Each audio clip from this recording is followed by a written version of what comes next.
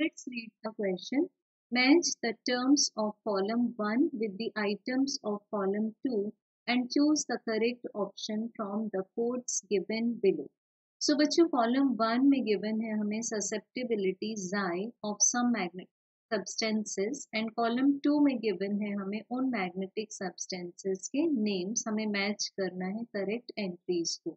सो so, बच्चों हमारे पास तीन टाइप के सब्सटेंसेस होते हैं first is diamagnetic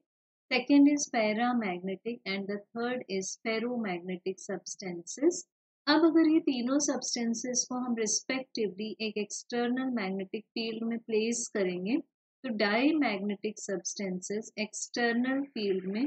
weekly repulsion show करेंगे and paramagnetic substances weakly attraction show करेंगे towards the external magnetic field and बच्चों ferromagnetic substances strong attraction show करेंगे through the external magnetic field so based on them हम check करेंगे इनकी ससेप्टिबिलिटीज तो die magnetic की susceptibility होती है less than zero it means entry A के साथ में निगेटिव ससेप्टिबिलिटी के साथ मैच होगा entry number Q of column two then बच्चों चेक करेंगे हम पैरामैग्नेटिक के लिए. जो ससेप्टिबिलिटी होगी, वो पॉजिटिव होगी बट स्मॉल होगी।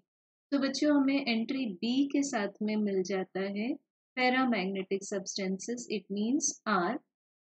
then अगर हम फेरोमैग्नेटिक की बात करें तो जो ससेप्टिबिलिटी है पॉजिटिव तो होगी ही बट वो लार्जर होगी। That is about of the order of ten to the power three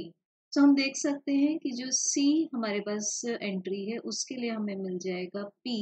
so so, जो हमें सीक्वेंस मिलता है that is Q R P so इसके अकॉर्डिंग हमारे पास में जो स्टेटमेंट नंबर फोर है वो करेक्ट है. So the correct is option number D